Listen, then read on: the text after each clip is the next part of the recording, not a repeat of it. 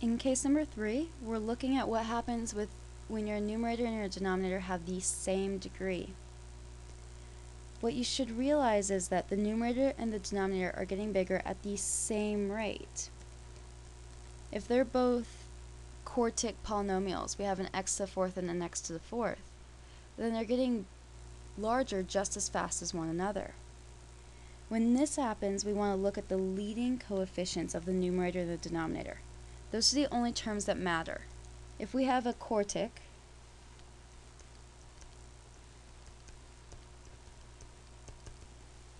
when x gets really large, the term that carries the most weight is always your leading term.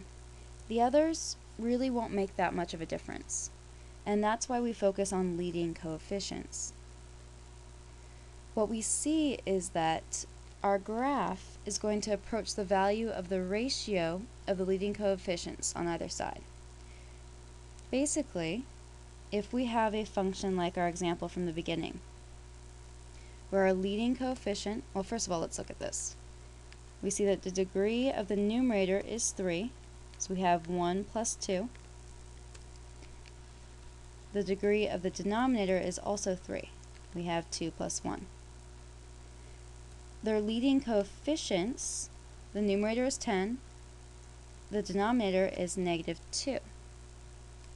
As x gets really, really, really, really big, this output is going to keep this ratio. So the limit as x goes to negative infinity will be 10 over negative 2, which is negative 5, and the limit as x goes to positive infinity will also be negative, or 10 over negative 2, which is negative 5. This gives us a horizontal asymptote at y equals negative 5.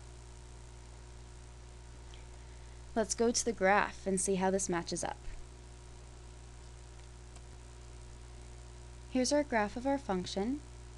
And we'll also look at the sketch that we're going to finish. What I want you to look at is what happens when we look and go really far. So let's make this, there's our negative 5. So here's y equals negative 5. When we go really far to the left, our outputs approach that value of negative 5, but we'll never reach it. Let's go back to the middle.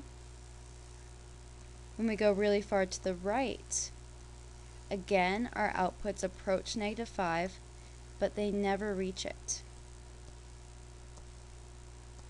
That tells us that we have a horizontal asymptote at negative 5.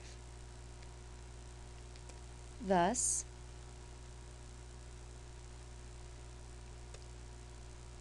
we see that this is true. The limit as x goes to negative infinity, so as we go really, really far to the left, the output approaches negative 5, and the limit as x goes to positive infinity, as we go really, really far to the right, our output again approaches negative 5.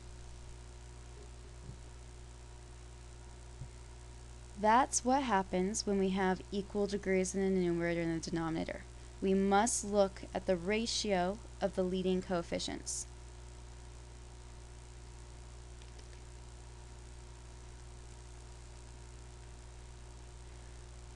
Hopefully that part made sense. We're going to go back up to our sketch. We already know that we will have a horizontal asymptote at y equals negative 5.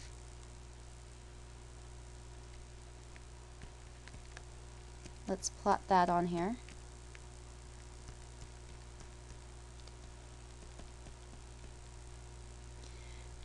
Now that we have all three parts, we have our roots, we have our vertical asymptotes, we have our horizontal asymptotes.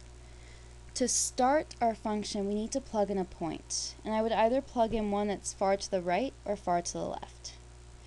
I'm going to go ahead and plug in the point 12. I want to find what f of 12 is. I'm going to use that point to start our graph.